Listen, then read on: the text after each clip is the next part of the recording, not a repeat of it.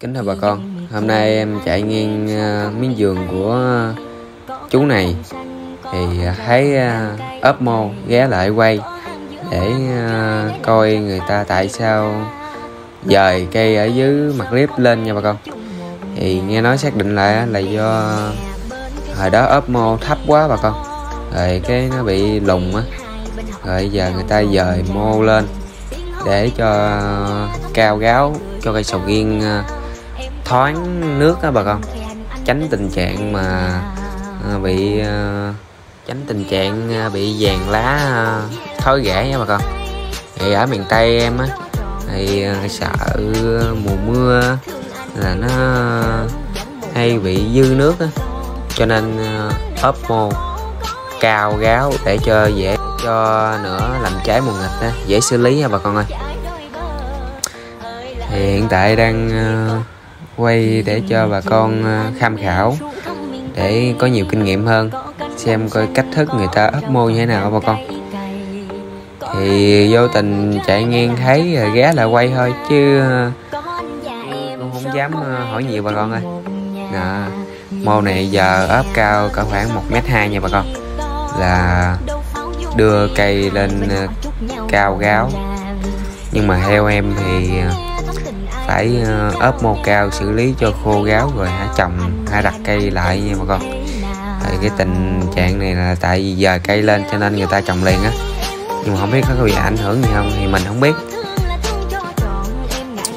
Thì uh, bà con nào có kinh nghiệm này kia thì uh, vào bình luận để góp ý kiến để sau này mình làm vườn mình đạt hơn. Đó, để em xuống quay mồ người ta ốp cho bà con xem nha.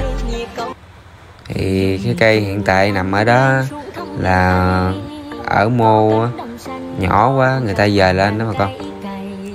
Bứng dời lên trồng cái mô cho cao gáo ờ, cho dễ uh, cho dễ xử lý hơn bà con. Chứ giờ thấp quá nữa cũng ấp mô cũng khó khăn hà cao vậy đó bà con. Cứ ờ, ba bốn tháng bà con thấy tàn ra tới đâu bà con ấp tới đó nó dễ hơn cái mà đặt sầu riêng ờ, trồng chạc với mặt lết nha bà con. Bà con ờ, bà con ở miền tây ờ, là nếu mà không trồng sầu riêng hơi trồng là phải ấp mô xử lý trước bà con ơi. Theo kinh nghiệm của em chia sẻ nhiều nhà vườn á tay cái này dời lên thì thấy nó uh, phải trồng liền rồi. Thấy bà con thấy ấp mà giá đất nào giá nấy phèn không bà con? Thì muốn làm video này à, để quay lại để chia sẻ cho bà con á, là cách thức ở miền Tây ốp mô như thế nào á bà con? Ừ. Nếu mà à, bây giờ lên clip xong rồi à, muốn trồng sầu riêng rồi người ta cũng ốp mô vậy thôi nhưng mà người ta phơi khô nha bà con. Phơi khô rồi mình xử lý uh, mô bằng cách gãy lăn cho nó hạp phèn em thì thường em hay gãy lăn nhiều hơn gãy vôi nha bà con gãy lăn xử lý ờ, xong rồi tầm khoảng nửa tháng á bà con, cho nó khô ráo đàng hoàng, lớp mặt của đất ha. Rồi cái mình lấy khoảng hai cái hữu cơ á, mình gãi, mình bón lót cho nó, rồi mình tưới nước rồi ờ, cho nó đều, nó nở ra. Xong rồi xong rồi khoảng trước khi trồng 5 đến 7 ngày á, bà con ra bà con đảo lại đất với hữu cơ trộn lộn lại á bà con. Chứ để cái tình hình mà mình đặt cây con xuống á, mà cái phần rễ ở dưới đất bầu của cây sầu riêng á, mà nó chạm phân liền á, là sẽ gây hiện tượng ờ, trái rễ nha bà con.